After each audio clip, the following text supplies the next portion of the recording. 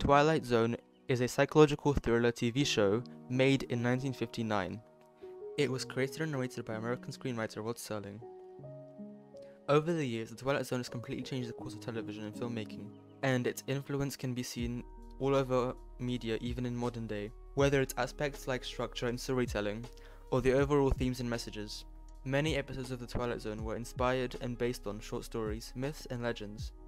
So, yes, a lot of the show is fiction, but at the same time, it tackles many real life issues and situations in society. Serling was an activist. By creating the Twilight Zone, he was able to disguise real life problems in sci fi. And of course, as sci fi was such a huge genre at the time, this made the show extremely successful. Despite how old the Twilight Zone is, it is still hugely popular nowadays too. Rolling Stone even placed it as 7th on their ranking of the 100 best TV shows of all time. The show has many reboots and remakes, one in the 80s, one in the early 2000s, and a more recent one in 2019. Throughout this investigation, we will be talking about how much The Twilight Zone has influenced media since its release, and just how much it has resonated with what we see on our screens day to day. But before we go in depth and talk about some of the episodes, here is your spoiler warning for the following episodes. Starting with the pilot episode of The Twilight Zone. Where is everybody? This is one of the most iconic episodes and the one that helped get the show on air. We are thrown into the episode with our main character stumbling upon an abandoned town where there is nobody around, yet he constantly feels as though he is being watched. Many other things happen that make him and us feel paranoid. In the end, it turns out that this was all a scientific experiment conducted by the Space Force to see how long someone could last in isolation without going insane. Already, most viewers will be able to identify the subtext about the space race that was starting around the time. The space race was a competition in the 20th century around the 60s, where Soviet Russia and America were racing to see who would get to the moon first. The ending of the episode has the main character quite literally say, We'll be up there in a little while showing how they were trying to be patriotic and support the US in the space race. It's said that this episode was actually inspired by a newspaper article from 1958 that was about a very similar topic as the ending of this episode. Theoretically speaking, this episode is very experimental and really good with subverting audience expectations. One theory that can be applied is Neale's genre theory, where the episode does follow genre conventions of science fiction and psychological thrillers, but it still manages to subvert audience expectations through its structure and narrative resolution. It manages to give the audience aspects they would expect, but also aspects they wouldn't they would have never seen coming. If you think about it, this episode doesn't even follow Todorov's narrative structure, which most TV shows and films do. Yes, we do have a recognition of the disruption and an attempt to repair and a new equilibrium too. But we never actually see the initial equilibrium and the disruption of it. We are simply thrown into the narrative at the point where the main character is already no longer living his normal life. By doing this, it makes the audience feel more uncomfortable and on their toes throughout the episode. Its unexpected and expanded ending is one that the audience doesn't see coming, and it ends with something bigger than the story we are initially presented with. We do find out what happens in the story, but we still don't really understand what the Twilight Zone actually is. No TV show at the time was quite like this one.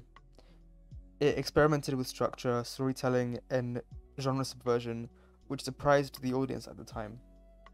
For me, the scene of the episode that intrigued me the most was this one.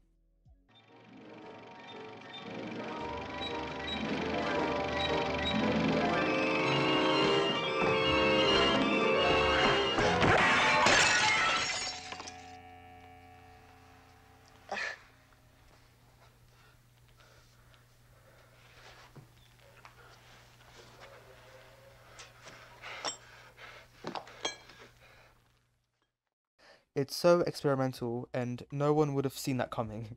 It's almost a jump scare back when jump scares weren't really even a major aspect of the horror genre, which really shows how experimental this, this show was, like, right off the bat. Other episodes, such as The Eye of the Beholder and Nightmare at 20,000 Feet, mostly experimented with suspense. In The Eye of the Beholder, we're told a story about a woman who is trying to change her appearance with plastic surgery in order to look like everyone else and fit in society. We aren't actually shown what she looks like until right at the end of the episode. In fact, we don't see a single face in the whole episode until right at the end. This is due to the fact that the whole twist is that she looks normal to us, but everyone else looks different.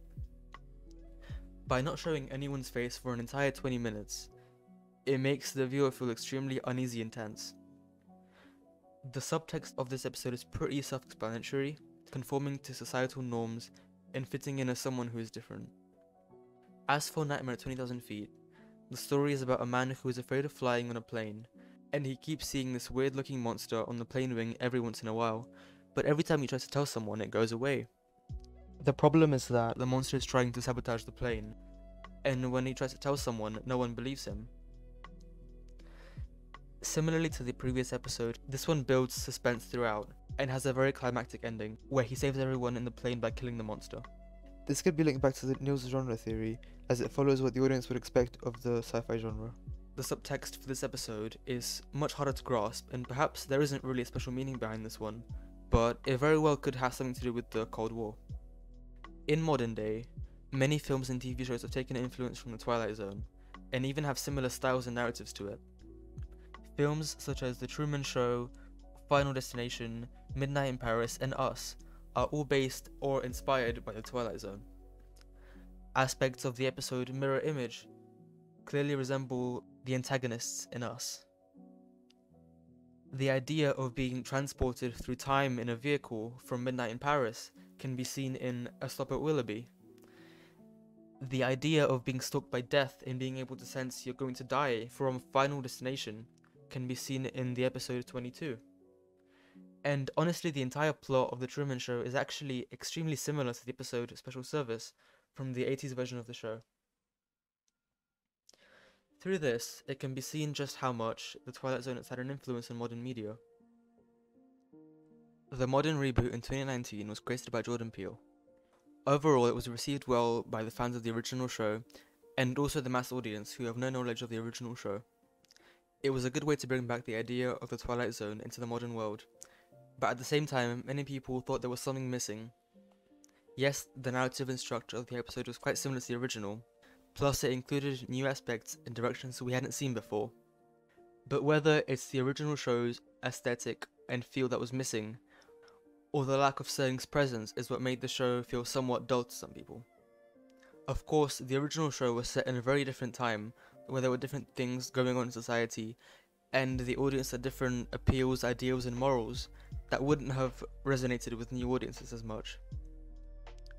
In terms of Stuart Hall's audience reception theory, it depends whether you're talking about the show's original audience or its modern audience, as of course, the original audience would have had different ideologies, so they wouldn't have had an oppositional reading of, for example, the lack of diversity in the show and the portrayal of women, whereas the modern audience would have more problems with the show.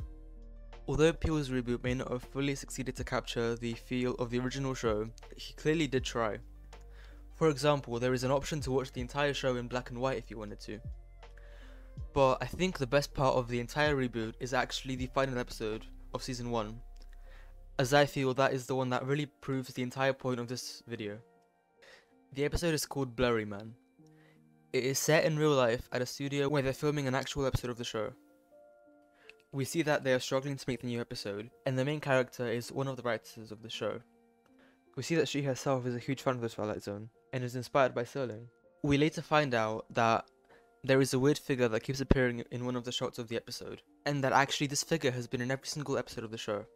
The main character starts actually seeing this figure in real life, and it starts chasing her around the studio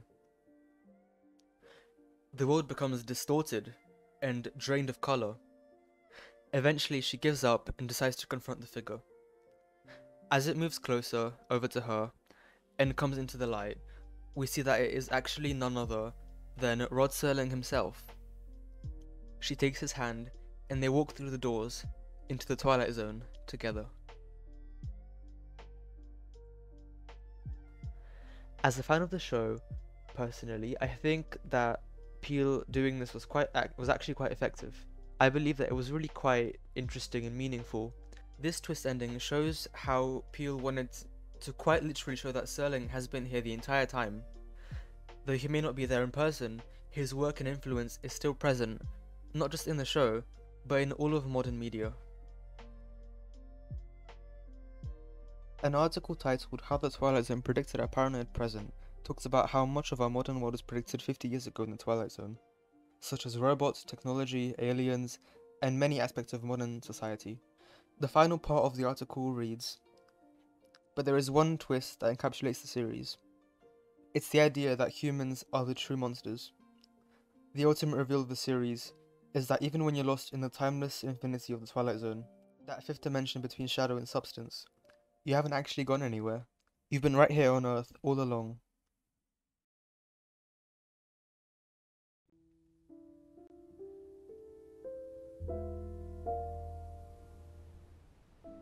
The Twilight Zone has clearly been very influential, and though being extremely experimental at the time, many of the aspects like storytelling and structure have evidently become more mainstream and something audiences are now used to seeing. In conclusion, it is quite apparent that the Twilight Zone has had a huge influence on media, and that it has played a big part in shaping society the way it is today.